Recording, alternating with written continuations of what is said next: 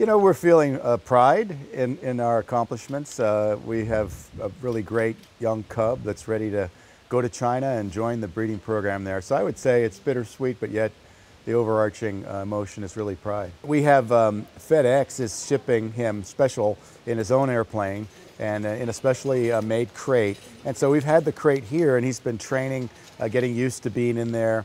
Uh, so he'll be good and comfortable. It won't be um, something unusual for him. And while he's flying, he's going to have all the creature comforts, all the food, his favorite items, sweet potatoes, apples, pears, and of course bamboo. So I think it's going to be a, a, good flight for him. He gets a more direct route than any other human does here. He's going straight from Washington all the way to Chengdu without stopping. It's nice to see him grow up. I, am I'm, you know, you, you, knew it wasn't going to be forever, and, and, and I think the ultimate purpose is either to breed them for um, either more more pandas or hopefully released into into the wild at some point. Him or his offspring would, would be you know that's the conservation uh, plan. I want to get some pictures and see him off. Yes, it's going to be emotional, but we'll get through it. Yeah. They're so entertaining, so amusing, just so cute and cuddly. Just my favorite animal.